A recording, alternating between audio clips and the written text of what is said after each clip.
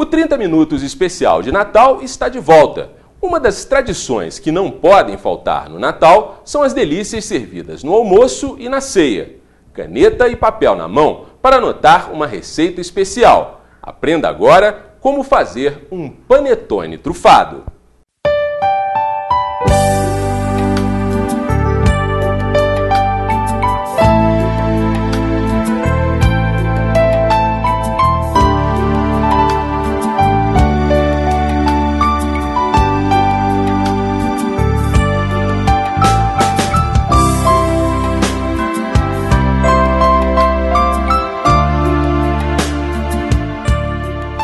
Trufar o panetone é muito simples, é uma receita fácil e simples. Você pega um panetone de 500 gramas, abre ele, tira a tampa dele, abre o meio, deixando 2 centímetros tanto no fundo quanto nas laterais. Derrete 300 gramas de chocolate ao leite com 200 gramas de creme de leite em banho-maria. Aí faz a ganache. Você pega esse panetone que você tirou de dentro do miolo e esfarela ele junto com a trufa. Aí tá pronto seu recheio. Você coloca tudo dentro do panetone e tampa. E para cobertura, você pode usar coberturas variáveis, né? Pode usar o, a cobertura de, feita de açúcar de confeiteiro ou o próprio chocolate. Eu vou usar o chocolate ao leite com frutas para poder enfeitar ele. É uma receita rápida prática e gostosa de Natal.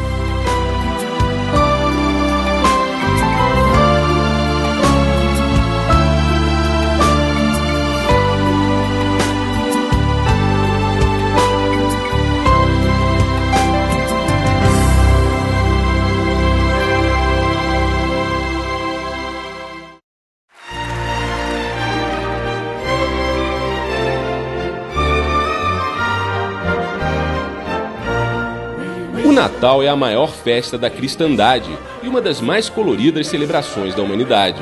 A comemoração foi instituída oficialmente pelo Papa Libério no ano 354 depois de Cristo, para lembrar o nascimento de Jesus.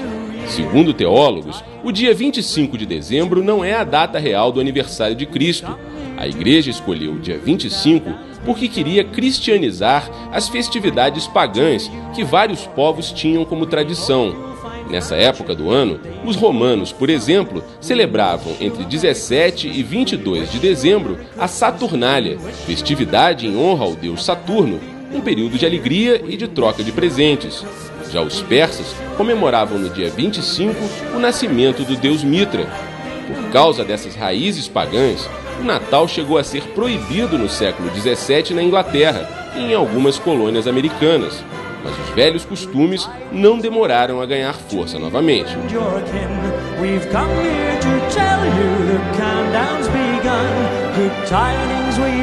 Graças aos filmes de Hollywood e à grande influência dos Estados Unidos, o Natal no Brasil é uma data onde muitos simbolismos são importados. A neve, Papai Noel vestido com roupa de lã e botas, andando num trenó puxado por renas, são imagens que não têm nada a ver com a época em que o nascimento de Jesus é comemorado nos países do hemisfério sul. Aqui o verão começa três dias antes do Natal. Apesar dos símbolos fora de estação, o Natal continua sendo uma época onde as esperanças são renovadas.